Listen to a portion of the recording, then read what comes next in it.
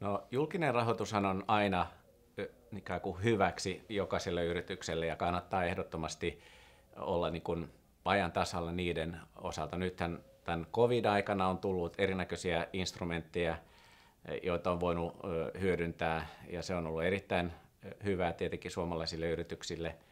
Mutta jos mennään näihin niin sanottuun normaaliin aikoihin, niin edelleen Business Finlandilta löytyy hyviä ohjelmia pankeilta ja Finveran takausmalleilla saa sitten myös niin, kuin niin sanottua kevyempiä lainoja.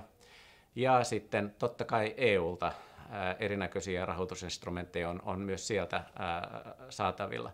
Ja sama erityispiirre koskee näissä kuin tätä, kun puhuttiin oman pääoman ehtoisesta rahoituksesta, eli on tehtävä huolella näitä anomuksia ja hakemuksia ja on, on syytä varmistaa, että, että menee niin kuin tavallaan ensimmäisellä läpi.